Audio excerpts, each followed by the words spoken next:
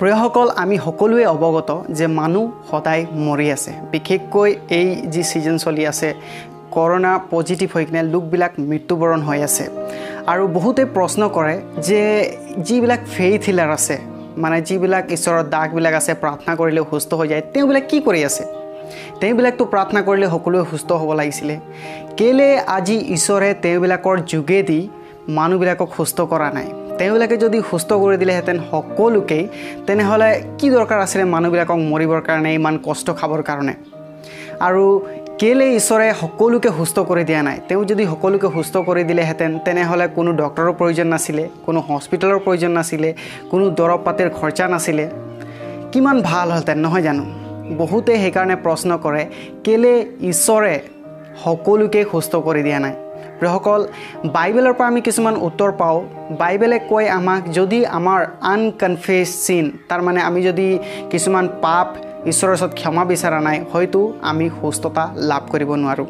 আৰু কিছুমানে কয় বাইবেলৰ যোগেদি যে কিছুমান লোকৰ ইনাফ বিশ্বাস নাথাকে তেওঁবিলাকৰ বিশ্বাস নথকাৰ কাৰণে তেওঁবিলাক সুস্থ নহয়। আৰু কিছুমানে কয় যে সেই সুস্থ দিবৰ কাৰণে ঈশ্বৰৰ ইচ্ছা নাছিলে বা তেওঁৰ মহিমা সেই সুস্থতাৰ যোগেদি নহ'লেহেঁতেন সেইকাৰণে ঈশ্বৰে সুস্থতা দান কৰা নাই।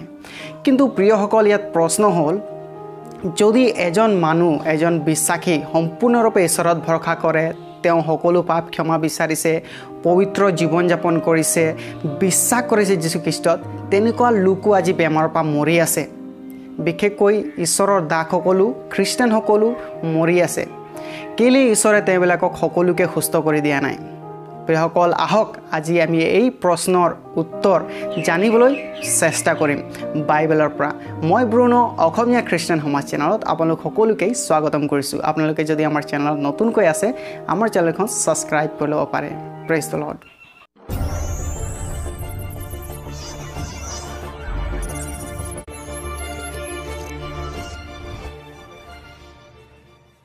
প্ৰিয়সকল আপোনালোকে হয়তো এক কথা জানি বিস্ময় মানিব যে বিব্লিকেল হিষ্ট্ৰীত দুহেজাৰ পাঁচশ বছৰলৈকে ঈশ্বৰে কোনো মিৰাকেল সুস্থতাৰ কথা আমি বাইবেলত পঢ়িবলৈ নাপাওঁ।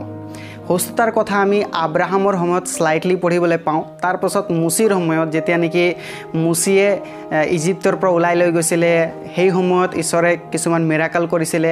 আৰু যেতিয়া মুচিৰ ভনী মেৰিয়াম তাৰ কুষ্ঠৰোগ হৈছিলে সেই সময়ত মুচিয়ে মুচিৰ যোগেদি ঈশ্বৰে তাইক সুস্থ কৰিছিলে। তো সেইটো প্ৰথম মিৰাকেল হিচাপে আমি ধৰিব পাৰোঁ।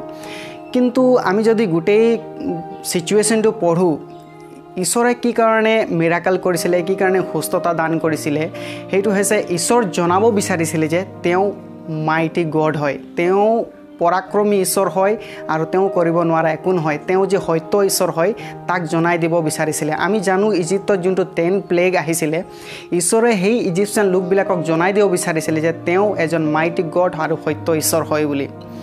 আৰু সেইকাৰণে দহটা প্লেগ তাত আহিছিলে। আৰু আমি গোটেই ৱৰ্ল্ড টেষ্টেমেণ্টত যদি পঢ়োঁ পুৰণি নিয়মত আমি গম পাম ঈশ্বৰে বিভিন্ন মিৰাকেল কৰিছিলে আৰু সেই কলৰ যোগেদি ঈশ্বৰৰ এটাই উদ্দেশ্য আছিলে যে লোকবিলাকে তেওঁ পৰাক্ৰমক জানক তেওঁ যে সত্য ঈশ্বৰ সেইটোক জানক। আৰু প্ৰিয়সকল যেতিয়া আমি নিউ টেষ্টামেণ্টত আহোঁ নিউ টেষ্টামেণ্টতো আমি পঢ়োঁ যীশুখ্ৰীষ্টই বহুতবোৰ মিৰাকেল কৰিলে। এটাৰ পাছত এটা যিকোনোৱে তেওঁৰ ওচৰত আহিছিলে যীশুখ্ৰীষ্টই তেওঁবিলাকক সুস্থতা দান কৰিছিলে। আৰু যীশুখ্ৰীষ্টৰো সুস্থতা দান কৰাৰ এটাই মেইন উদ্দেশ্য আছিলে সেইটো হৈছে লোকবিলাকে তেওঁক বিশ্বাস কৰক। তেওঁ যে ঈশ্বৰৰ সন্তান স্বয়ং ঈশ্বৰ সেই কথা লোকবিলাকে বিশ্বাস কৰক। আমি যদি জোহন হাতে দেহাই একত্ৰিছ পদ পঢ়োঁ সেই কথা আমি গম পাম। অকল যীশুখ্ৰীষ্টই যি মিৰাকেলবোৰ কৰিছিলে যি আচৰিত কাৰ্যবোৰ কৰিছিলে তেওঁৰ উদ্দেশ্য আছিলে আমি চাওঁ যোনটো জিউজ কমিউনিটি আছিলে মানে যিহুদী লোকসকল সেইসকলৰ মাজত জেৰুচালেমত যীশুখ্ৰীষ্টই পৰিচৰ্যা কৰি আছিলে। আৰু আমি জানো যিসকলে প্ৰত্যেক সময়তে চিহ্ন বিচাৰিছিলে। আপুনি কি ক চিহ্ন দেখালে মানে লোকবিলাকে বিশ্বাস কৰিব? সেইকাৰণে আমি চাওঁ যীশুখ্ৰীষ্টৰ শিষ্যবিলাকেও বহুত সময়ত আমি বাইবেলত পঢ়িবলৈ পাওঁ আপুনি আমাক চিন দেখুৱাওক। অন্তিম কালৰ চিন। আৰু বহুত সময়ত তেওঁবিলাকে সুধি আছিলে তেনেকৈ আন যিহুদী ফৰাচী চদুকীবিলাকেও যীশুখ্ৰীষ্টক চিন দেখাবলৈ বিচাৰি আছিলে? আৰু সেইকাৰণে যীশুখ্ৰীষ্টই সেই সময়ত এটা মাধ্যম আছিলে সুস্থতা দান কৰাটো। সুস্থতা দানৰ যোগেদি লোকবিলাকে জানিছিলে যে যীশুখ্ৰীষ্টই ঈশ্বৰৰ সন্তান হয় আৰু স্বয়ং ঈশ্বৰ হয়।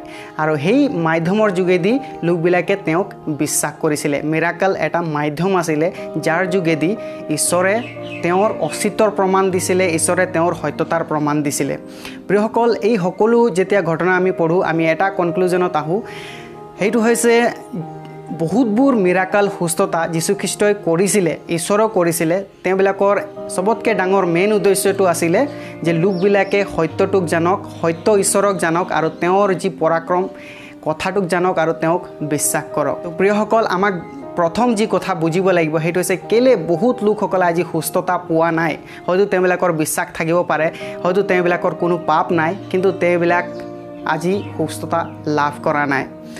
প্ৰিয়সকল আমাক বুজিব লাগিব কথাটো যে সুস্থতাটো এটা মাধ্যম আছিলে যাৰ যোগেদি ঈশ্বৰে তেওঁৰ অস্তিত্বৰ প্ৰমাণ সত্যতাক দিছিলে। তেনেকুৱা বহুত মাধ্যম আছিলে যাৰ যোগেদি ঈশ্বৰে তেওঁৰ অস্তিত্বৰ প্ৰমাণ দিছিলে। কিছুমানক দৰ্শন দিছিলে কিছুমানক হয়তো কিবা কাৰণৰ পৰা বচাইছিলে কিছুমানক তেওঁ ডাইৰেক্টলি কথা পাতি কিনে জনাইছিলে যে মই সত্য ঈশ্বৰ হয়। এনেকুৱা বহুত লোকসকল আছিলে যেনেকুৱা সাধু সুন্দৰ সিং তেওঁক দৰ্শন দেখিলে ঈশ্বৰে জনাইছিলে যে মই ঈশ্বৰ হয়। তো প্ৰিয়সকল তেনেকুৱা বহুতবোৰ মাধ্যম আছে যাৰ যোগেদি ঈশ্বৰে নিজৰ সত্যতাক প্ৰমাণ দিয়ে। হয়তো কিছুমান লোক আজি যে সুস্থতা লাভ কৰা নাই এইটোৱে কাৰণ হ'ব পাৰে। কাৰণ ঈশ্বৰে তেওঁবিলাকক বেলেগ মাধ্যমৰ যোগেদি তেওঁবিলাকক সত্যতাটো জনাব বিচাৰিছে। হয়তো তেওঁবিলাক সুস্থতা লাভ নকৰিব পাৰে কিন্তু ঈশ্বৰে তেওঁৰ সত্যতাৰ প্ৰমাণ তেওঁবিলাকক বেলেগ প্ৰকাৰে জনাব। কাৰণ ঈশ্বৰৰ মেইন উদ্দেশ্যটো উদ্দেশ্যটো হৈছে সুস্থতা দান কৰাৰ। ঈশ্বৰ লোকবিলাকে তেওঁক বিশ্বাস কৰক। আৰু অকল যে সুস্থতাই দান কৰি কিনে তেওঁক বিশ্বাস কৰিব তেনে নহয়।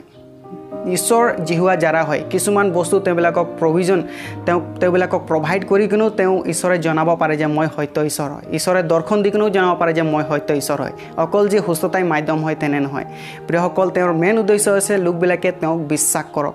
তো সেইকাৰণে আজি বহুতবোৰ লোকবিলাকে সুস্থতা লাভ কৰা নাই কাৰণ ঈশ্বৰ বেলেগ মাধ্যম মাধ্যমৰ যোগেদি হয়তো তেওঁবিলাকক আপ্ৰ'চ কৰি আছে যে লোকবিলাকে তেওঁক জানক। দ্বিতীয় যি কথা আমি জানিব লাগিব সেইটো হৈছে আমাৰ ঈশ্বৰ চবৰেন ঈশ্বৰ হয় সাৰ্বভৌম ঈশ্বৰ হয় তেওঁ আমাৰ পাষ্ট ফিউচাৰ আৰু প্ৰেজেণ্ট সকলো জানে। কি হ'বলৈ গৈ আছে সেই সকলো কথা জানে। আৰু আমি এটা ফল এণ্ড ৱৰ্ল্ডত আছোঁ তাৰ মানে প্ৰত্যেক ক্ষণত আমি পাপত পৰি যাওঁ। তো প্ৰিয়সকল ঈশ্বৰে জানে আমাৰ কাৰণে কোনটো ভাল কোনটো বেয়া। হয়তো আমাৰ কাৰণে এটা বস্তু ভাল হ'ব পাৰে মই যদি সুস্থতা বিচাৰি আছোঁ মোৰ কাৰণে সেইটো ভাল হ'ব পাৰে কিন্তু আনজনৰ কাৰণে হয়তো সেইটো ভাল নহ'বও পাৰে। তো প্ৰিয়সকল ঈশ্বৰ জানে আমাৰ কাৰণে কোনটো ভাল হ'ব কোনটো বেয়া হ'ব। তেওঁৰ উইলৰ যোগেদি তেওঁৰ ইচ্ছাৰ যোগেদি সকলো কথা হয়। সেইকাৰণে বাইবেলত আমি প্ৰথম জীৱনত পঢ়িবলৈ পাওঁ তাত কৈছে যে যিকোনোৱে তেওঁৰ ইচ্ছাৰ যোগেদি প্ৰাৰ্থনা কৰে ঈশ্বৰে তেওঁলোকৰ প্ৰাৰ্থনা শুনে কৈছে। তেওঁৰ ইচ্ছা আমি যদি তেওঁৰ ইচ্ছাত প্ৰাৰ্থনা কৰোঁ তেনেহ'লেহে আমাৰ সুস্থ হ'ব। কাৰণ ঈশ্বৰৰ ইচ্ছা সুস্থতাটো প্ৰিয়সকল আমাৰ কোনো পাৰ্চনেল কনভিনিয়েঞ্চ নহয়। সুস্থতাটো হোৱাট হি ৱান্টছ তাৰমানে তেওঁ কি বিচাৰে সেইটো মই কি বিচাৰোঁ সেইটো নহয়।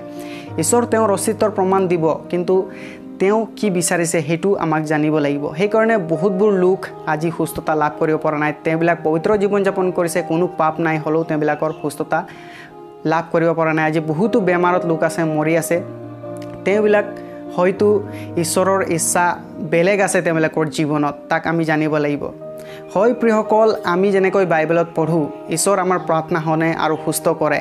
যোনটো আল্টিমেট আমি সকলো বেমাৰৰ পৰা সুস্থ হ'ম সেইটো হৈছে ৰিজাৰেকশ্যন তাৰমানে যেতিয়া আমি আমাৰ পুনৰুত্থান হ'ব তেতিয়া আমি সকলো বেমাৰ দুখৰ পৰা ঈশ্বৰে আমাক সুস্থতা দান কৰিব। তাৰ পাছত আৰু আমাৰ কোনো বেমাৰ দুখ বা কোনো সমস্যা নহ'ব। সকলো ধৰণৰ বেমাৰৰ পৰা ফিজিকেল আত্মিক সেই সকলোৰ পৰা যেতিয়া আমি সত্য পথত চলোঁ ঈশ্বৰে আমাক ডেফিনেটলি সেইবোৰৰ পৰা সুস্থ কৰিব। সেইটো হৈছে আল্টিমেট কিন্তু তাৰ আগতে হয়তো আমি সুস্থতা লাভ কৰিব নোৱাৰোঁ সেইটো হয়তো ঈশ্বৰৰ চবৰেন প্লানত আছে। তেওঁৰ সাৰ্বভৌম জ্ঞানত সকলো চাই আছে। আৰু প্ৰিয়সকল শেষত আমাক জানিব লাগিব বহুত সময়ত আমি ঈশ্বৰক বুজিব নোৱাৰোঁ বুজিব চেষ্টা কৰিব নোৱাৰোঁ হয়তো আমাৰ ওচৰত উত্তৰ নাথাকিবও পাৰে কেলেই আজি বহুতবোৰ লোক মৰি আছে।